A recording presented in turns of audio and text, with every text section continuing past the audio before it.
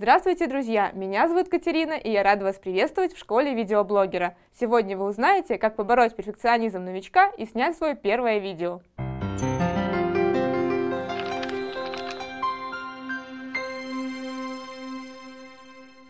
Когда только начинаешь создавать свой канал, хочется, чтобы все было идеально. Вы начинаете писать первое видео, что-то не получается. Вы вспомнили, что забыли сказать в начале ролика важную информацию. Запнулись, неправильно сказали слово. Вы выключаете камеру и пишете все сначала. И так раз за разом. Знакомая ситуация. Признаюсь по секрету, я и сама попадала в этот камкам перфекционизма, когда в попытке достичь идеала без результата получила только ворох неудачных дублей. Именно это стремление сделать как можно лучше и не дает начинающим видеоблогерам сделать хороший контент для своего канала. Именно поэтому на многих каналах видео выходит катастрофически редко. Ведь когда ты хочешь учесть все факторы успеха, времени на создание контента не остается.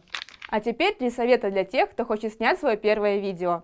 Первый. Помните, что первый блин комом. Неудача – это не повод отказываться от своих целей и планов. Второй. Записывайте видеоролики как можно чаще. Со временем количество обязательно перейдет в качество. Третий. Не бойтесь совершать ошибки. Оговорки и смешные казусы, наоборот, сблизят вас с подписчиками, ведь это покажет им, что вы такой же человек, как и они.